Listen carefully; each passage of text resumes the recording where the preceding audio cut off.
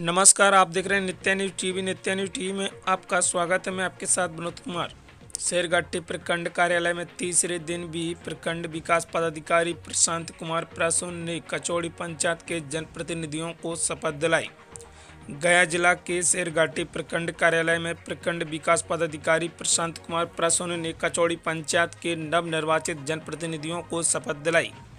नवनिर्वाचित कचौड़ी पंचायत के मुखिया अंशु कुमारी ने उप मुखिया प्रीति कुमारी को शपथ दिलाते हुए क्षेत्र में विकास की गति तेज कराने की शपथ ली। गए जिला से मोहम्मद सईद की खास रिपोर्ट।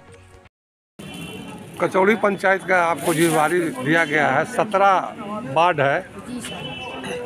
क्या विकास कीजिएगा वहाँ? सर विकास के लिए वहाँ पर बहुत कमी है सर। अभी ना तो वृद्धा पेंशन बना है किसी को ना राशन कार्ड बना है विधवा पेंशन नली गली भी बहुत खराब है वहाँ पर सर तो वो सब बनवाएँगे करेंगे।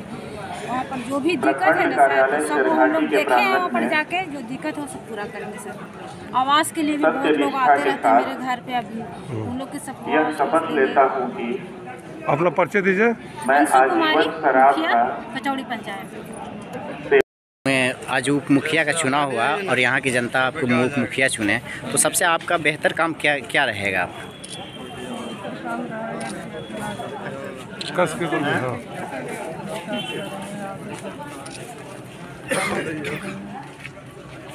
आप अपना परिचय दीजिए। मेरा नाम प्रीति कुमारी